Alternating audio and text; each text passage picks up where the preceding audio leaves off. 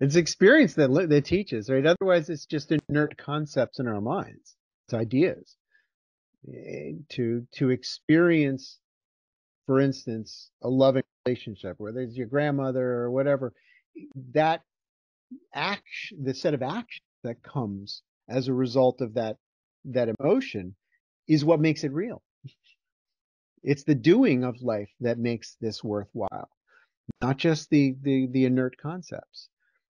We got to get out there and experience and recognize that that the contrast in the flow of the moment of I don't want that, like I really, really don't want that, and I really want this instead.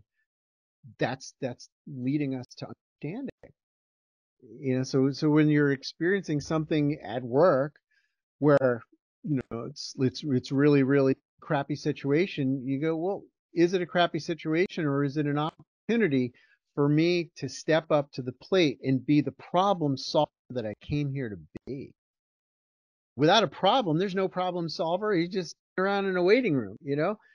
So you have to get in the game and not define every problem as a big hairy deal, as something that's happening to you and suppressing your happiness. This is what you came for, right? You came here to figure stuff out and enjoy it and, and, and to be thankful for the opportunities for solution. That's what a problem is, right?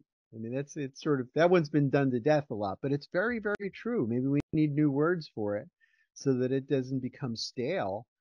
Um, but it, if we want to be someone that is is uplifting situations, if if I'm basically the rising tide, that's what I represent. Whatever it is, every conversation, every situation, every parachute malfunction, I'm the one that observes and then realizes what the way to go is, and then I put give my full attention to that and I go with the flow of of that solution set. That's what I came here to be. And I'm not going to be constantly riding the roller coaster of oh this is sucks you know oh it's ruining my coffee break it's ruining my my ease and flow. This is exactly what you're here for.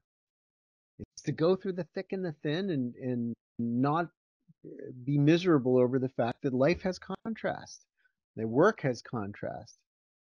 Uh, that's where else is the light going to shine but the darkness?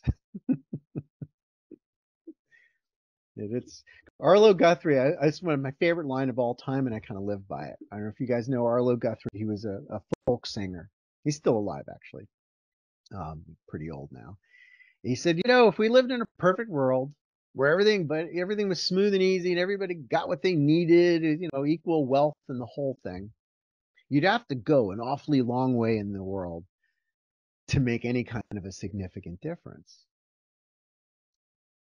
But in this world, you know, he said, in a world that sucks, you don't have to do very much at all to make a difference. You just got to try. Just a little bit, just a little bit of, of improvement from the perspective of I have power. I can do something. I can influence it. I can say something to someone and and that's going to go somewhere and you just got to believe that. Um, especially now we've got the ability to communicate with so many people and gather so much information non-locally. We got no more excuses.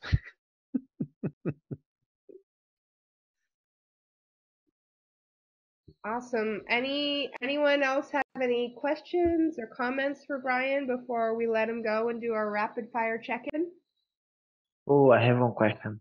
Uh, what's your, what's your advice for reducing anxiety when you speak? I realize that it happens sometimes, and I just fighting just speak with a fear. But when it happens, it's like my breathing getting heavy, and I just forget words, like disappears in my mind. Yeah. So, what is your advice? Yeah. Well, if you only have a little bit of time in order to regain your composure and slow down your physiological processes, you got to be super efficient.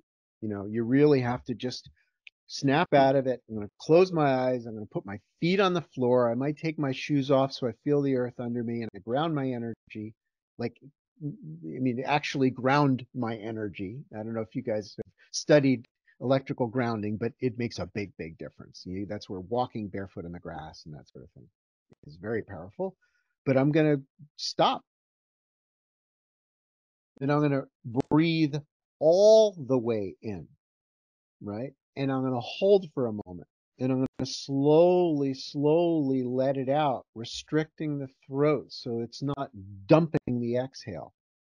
I'm letting it out slowly. And I'm going to, you know, they call cleansing breath. I'm going to let it all the way out, all the way out. And I'm going to slowly return the air back inside my body and surrender in these the, this kind of breathing surrender to to just silence and peace and not thinking about the content not thinking about right now what i need to do to solve the problem i'm going to think about emptiness i'm going to think about the beautiful peaceful loving emptiness that is the basis of my consciousness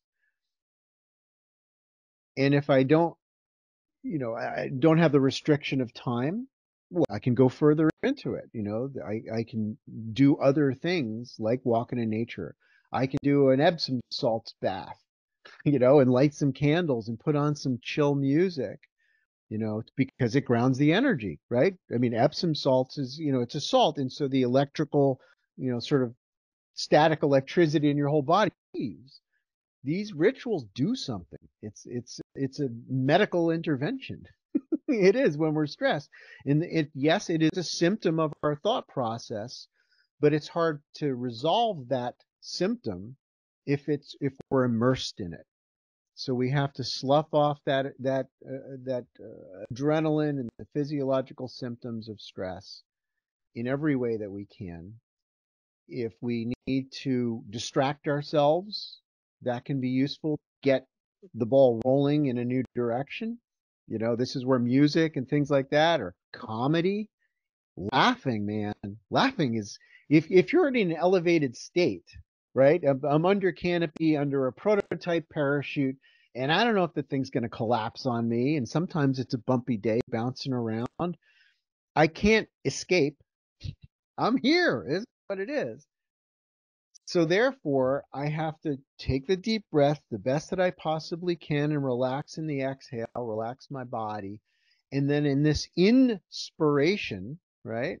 The inhale, I allow myself to feel joyful and, and comedic. you know, like, oh, this is crazy, man. That that's sane. That, that is the relief right? When you cannot get rid of it, when you cannot ex- expunge the stress completely because you're still immersed in it, you got to go with the flow with it. And that big wave that's coming, you paddle with it, and you have a completely different experience than somebody static that's trying to stop the world from rolling. It's not going to stop in this case. So you have to say yes to it. You have to surrender to it, and you got to keep your you know sort of feisty self activated. Instead of shutting down your light, you turn up the light.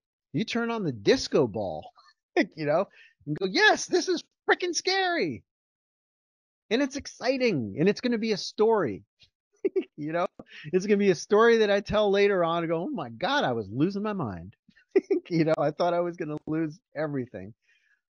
And then something shifted in me, right? That's the story I want you to be able to tell. Something shifted in a moment where I woke up from the nightmare and I realized that my life is a lucid dream, that I have the ability to alter my perspective to a higher and choose my life choose the circumstances choose that that this is you know uh, one of my my favorite ones right applies perfectly bloom where you're planted this life, this moment, this situation, this is your opportunity. You may have a different job later. You might have a different boyfriend, girlfriend. You might have a new house, you a new country, who knows? But right now, you are, you might as well make the best of it. So that's, I want to leave it with that.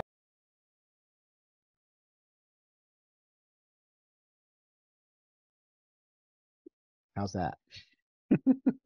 Mic drop. Mic drop, exactly.